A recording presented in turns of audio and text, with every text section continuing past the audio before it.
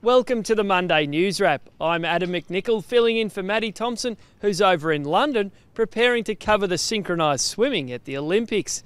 And we start up in Sydney when it comes to footy, and the Swans are very confident that their tough win over the Saints will set them up for a tilt at the flag come September. I mean, they're the games you sort of you sort of pride yourself on. I mean, we weren't in the game early, and we sort of, but we stuck in and we got ourselves back into the game at half time, and then you know, got ahead in that last quarter, and um, we're able to, when they kicked a goal, we're able to answer with another goal, which is, I mean, something that you always want to do. And, and in the last couple of minutes, like I said, we kicked some goals and sort of got a good win in the end.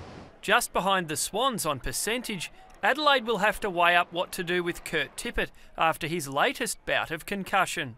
Yeah, he's put up okay. Um, you know, obviously three concussions is not ideal in the last four weeks, but uh, you know, he's in uh, good hands with the docs, and uh, you know he should be. He should be. You know, who knows what what's going to happen, but uh, he'll do all the testing, and uh, hopefully he's available to play this week. A neurologist to see him.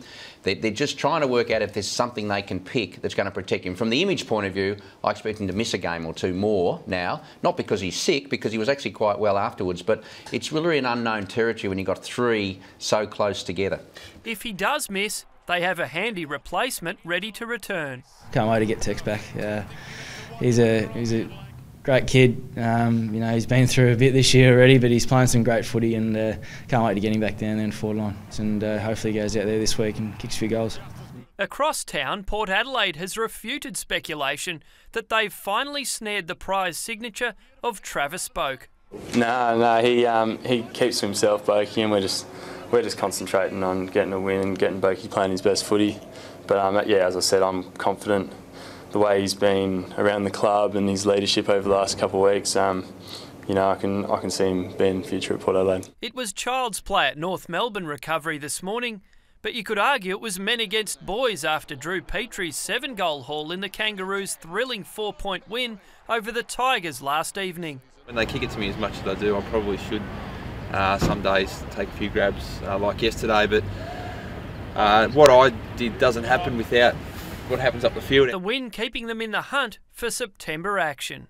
Yeah, it was one of our best. Uh, we knew it was going to be a tight game because over the past three years we've had very tight battles with Richmond and and yesterday it probably was one of those eight-point games that if, if we lost, we would have dropped almost dropped a you know game or two games away from the top eight. And, uh, and from there we just it might have been a bit of a battle, but just the effort um, and the consistency over the last six weeks by the team has been great. At Windy Hill, the Bombers believe they've learned many lessons from their thrashing at the hands of Geelong, and those lessons will be put into practice when they confront a marauding Hawks outfit on Friday night. We can come out the same way Geelong came out after their loss, then it's going to be a really big game. So I think uh, we'll look at our tapes today, and um, the team we are is we know that you know we're a resilient team now, so we know that when we're under the pump and uh, things aren't going our way, that we can turn it around and we can come out and uh, you know we can hunt them.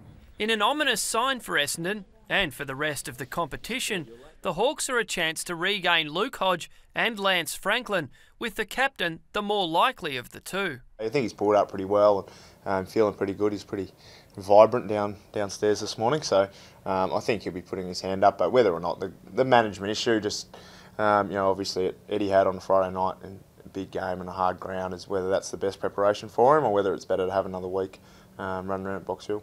And when quizzed on his coach's anger management, yeah, the gaffer, he's an interesting one. He's a, I, we do um, you know lookalikes and all that sort of thing. You search angry little man on Google and believe it or not, first thing that comes up. So you can try that at home, see what you think. But um, you know, he's a he he's, wears his heart on his sleeve, and it's part of what you love about him as a coach, and part of what probably frustrates you at time as a as you know a supporter. But um, you know, you take the good with the bad, and he's doing a great job with us at the moment. So. And in Brisbane, the Lions are bracing themselves for a fired up West Coast as they fight to keep their slim finals hopes alive. This is a, a fantastic challenge for our players. So, yeah, playing in Perth, they want to get back on the winners list after losing on the weekend, and um, you know we know what they're capable of and the scoring power that they have. So.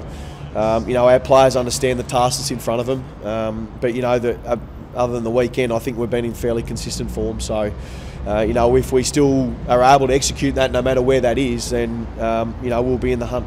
That's all you ask. So it's been a big Monday of footy news, and don't forget to keep clicking back to afl.com.au all afternoon for plenty more. We've got the verdict coming up, so you'll be able to hear everything from the match review panel and also all the latest on Liam Jurrah's court case up in Alice Springs. And we'll see you tomorrow.